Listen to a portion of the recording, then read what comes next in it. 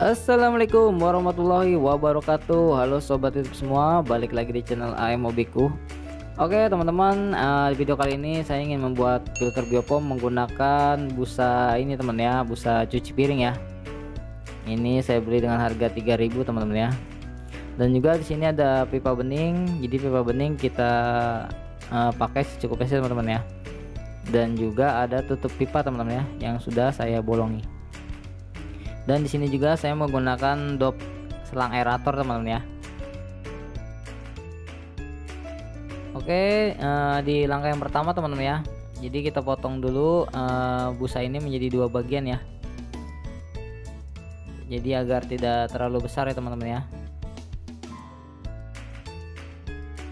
Nah untuk lubang ini tadi di awal video uh, sudah saya beritahu caranya teman-teman ya jadi teman-teman tinggal dorong saja ya menggunakan pipa akuarium yang bening sambil diputar-putar seperti ini teman-teman ya. Nah begitupun yang satunya teman-teman ya. Jadi sangat mudah cara melubanginya. Dan juga di sini tutup uh, pipa bening ini saya lubangi. Ini untuk memasukkan si kop selang aerator ini teman-teman ya. Jadi kita masukkan seperti ini lalu kita sambungkan uh, dengan bagian kopnya ya. Jadi nanti ini fungsinya untuk menempel uh, di dasar akuarium teman-teman ya. Lalu tinggal kita uh, gabungkan dengan si pipa beningnya teman-teman ya. Oke lanjut uh, kita lubangi di bagian pipa bening ini teman-teman ya. Jadi kita lubangi itu di bagian bawah saja ya jadi tidak sampai keseluruhannya teman-teman ya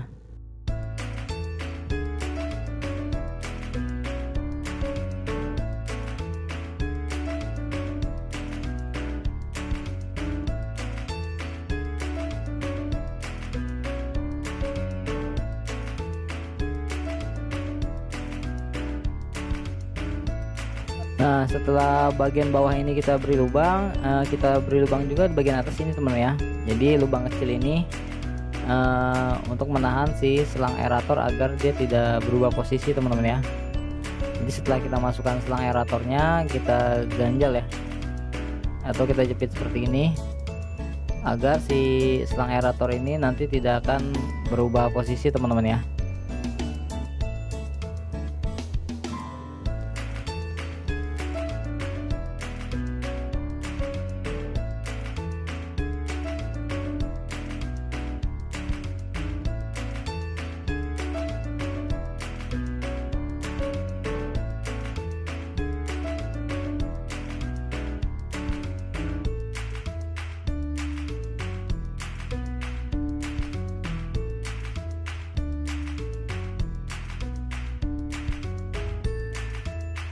Nah ini setelah kita masukkan ke dalam tank ya teman-teman ya. Dan mesin sudah kita nyalakan ya.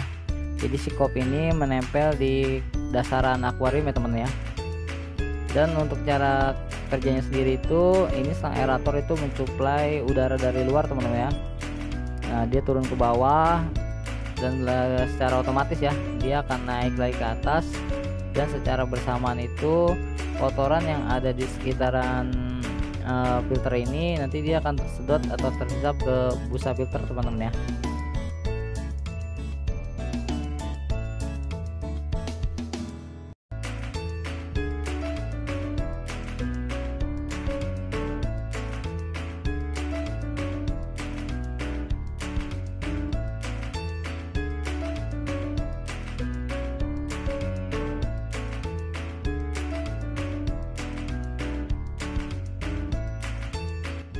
Oke, apabila video ini dirasa bermanfaat, silahkan share ke teman-teman yang lain. Jangan lupa di like, komen, dan subscribe.